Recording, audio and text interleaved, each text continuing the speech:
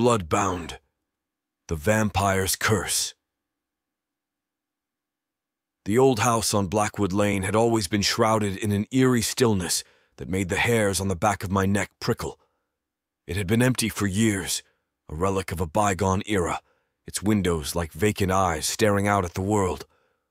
But tonight, a faint, unnatural glow emanated from its depths, drawing me in like a moth to a flame.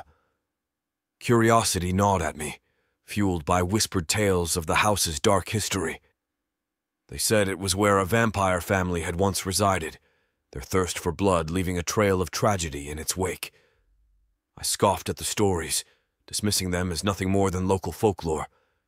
Yet the pull of the unknown was too strong to resist. Stepping onto the cracked porch, I felt a sudden chill, a breeze that wasn't there moments ago. The air smelled metallic, faintly sweet, like the scent of blood. My heart hammered against my ribs, but I pushed the fear aside. I had to see, to know. The front door creaked open, revealing a dark, dusty hallway. I fumbled for my flashlight, the beam cutting through the suffocating gloom. The air grew thicker, heavy with an oppressive silence.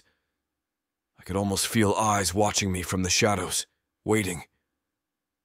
I ventured deeper into the house, the floorboards groaning beneath my feet. Dust motes danced in the beam of my light, revealing faded tapestries and cracked portraits that seemed to leer at me. The air grew colder, prickling my skin.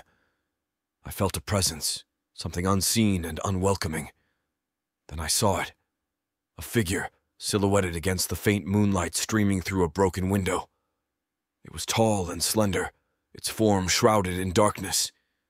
Its eyes, two brilliant crimson points, glinted in the gloom. I froze, the blood draining from my face, as a low, guttural growl reverberated through the house. I wanted to run, to escape, but my feet felt rooted to the spot. The creature moved, its form shifting closer, the growl changing to a hiss, sharp and menacing. I could feel the cold air radiating from it, a chilling aura that sent shivers down my spine. The figure stepped into the light, revealing its true form. Pale skin, sharp teeth, and eyes that seemed to hold the darkness of the night itself. The vampire. It bared its fangs, the sharp points glinting like daggers. You should have stayed away, it whispered, its voice a raspy rasp. You shouldn't have disturbed our slumber. My mind screamed, my body trembled, but I couldn't move. I was trapped, frozen by fear, staring into the abyss of the vampire's crimson eyes. I knew then with a cold certainty that the whispers of the past were not merely stories.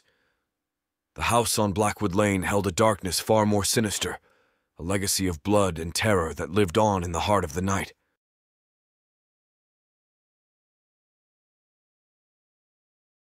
Thank you for diving into the spine chilling mysteries with Chills Unveiled. If you've enjoyed the eerie tales and creepy narratives that send shivers down your spine, make sure to subscribe to our channel for more hair raising content. Hit that notification bell so you never miss an unveiling of the unknown. Join the community of thrill seekers and let the darkness unfold. Subscribe now and let the nightmares continue.